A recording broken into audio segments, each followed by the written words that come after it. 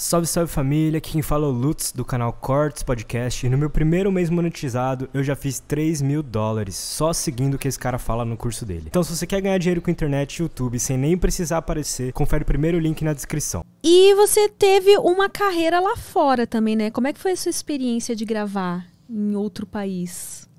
Foi incrível essa experiência. Aprendi muito com isso. É... Conheci muita gente, fui para muitos lugares.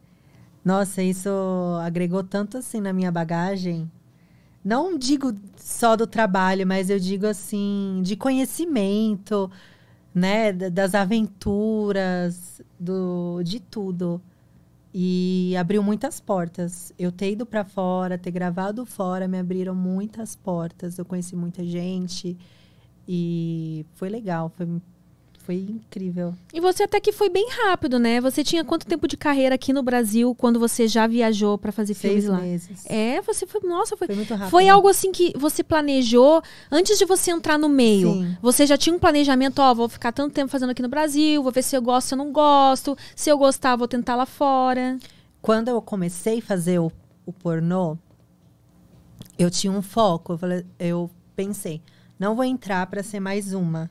Não vou entrar para fazer escondido. Uhum. Não, eu não tinha aquela intenção, porque tem meninas que gravam um, dois filmes e quer ser esquecida. Era só pelo dinheiro. Eu falei, não, eu vou fazer e eu quero.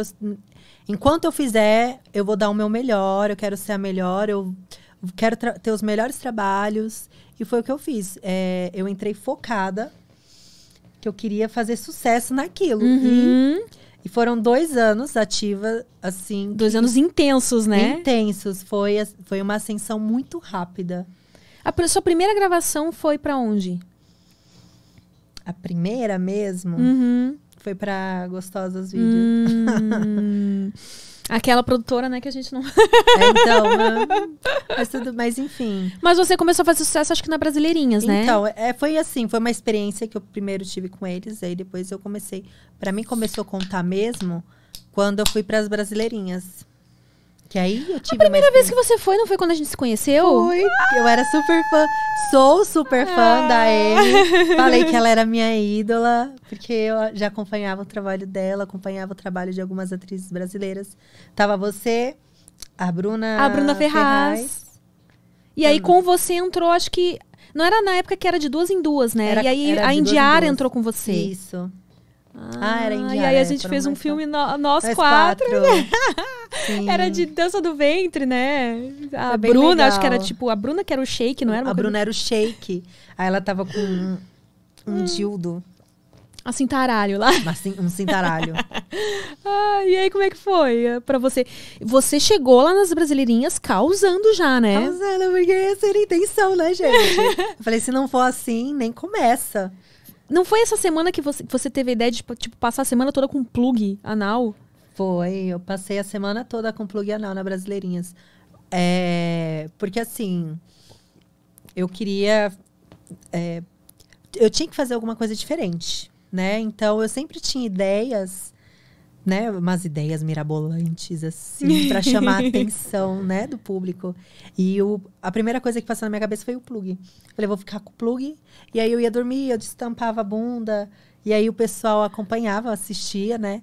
E eles viam que realmente eu passava a noite, eu dormia. Amiga, com como é que você conseguiu? Não, me conta como você conseguiu fazer isso. E quando você ia no banheiro, tipo assim, aí você tirava só pra fazer o número dois, é isso? Tirava normal, gente. Eu tava sempre fazendo chuca.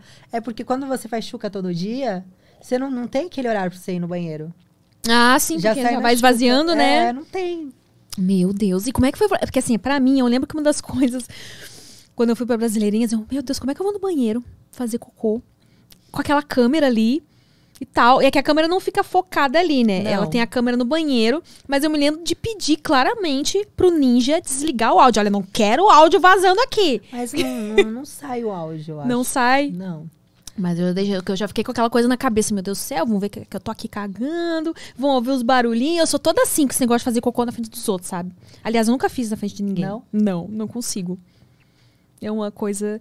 E aí aquilo. Tanto que. Quando você viaja, você fica a viagem inteira assim. Não, mas aí eu, sei lá, se tem alguém comigo no quarto, eu peço pra ligar a TV num som um volume alto, ou peço pra pessoa aí, né, vai, vai passear um pouquinho, vai lá embaixo, sei lá, comprar alguma coisa. Eu tenho essa, essa trava, assim, sabe, de... E a coisa do, do anal também era uma coisa que me preocupava, né? Porque às vezes tem que ficar um tempão lá fazendo a chuca pra garantir que fique bem ficar bem, limpinho. bem E aí tudo tem hora lá, né? Tipo, de duas em duas horas tem uma Nossa, atividade. você trabalha muito. É o dia inteiro ativo. É, então, tanto é que a gente Foi- vai pra é lá. instinto. Ali, pra quem é iniciante, é assim. Um intensivão. Dali você sai profissional. É, e já sabendo se é aquilo que você quer ou não Ou quer não, também, né? Sim, porque a partir dali, se você quiser mesmo ser atriz, a- ali é o, é o lugar ideal pra você começar.